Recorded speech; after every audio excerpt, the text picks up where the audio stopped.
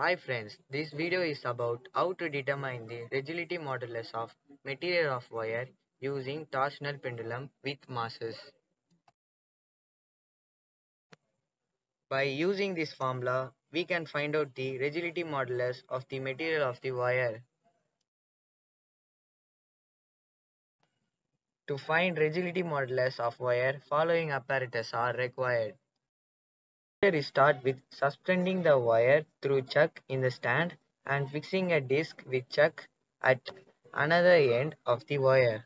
Adjust the length of suspended wire by marking the required length from the disc chuck to the upper chuck.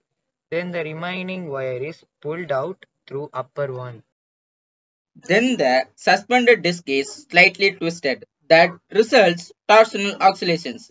Each oscillation of disc is about half circle is enough without wobble. So omit some initial oscillations and note the time taken for 20 oscillations by considering a marked point on the disc.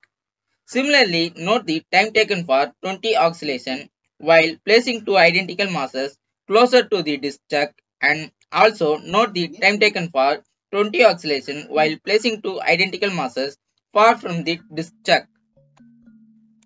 Repeat this step 2 for various length of suspended wire and tabulate the noted readings.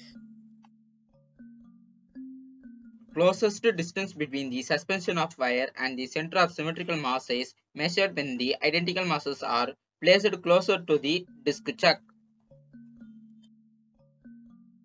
Maximum distance between the suspension of wire and the center of symmetrical mass is measured when the identical masses are placed far from the disc chuck.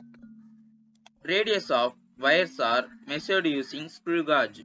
Measure the mass of the identical mass using a balancing weight scale and note it. List out the observed readings. Moment of inertia of the disc is calculated by substituting the observed values in the formula. Rigidity modulus of the material of wire is calculated by substituting the observed values in the formula.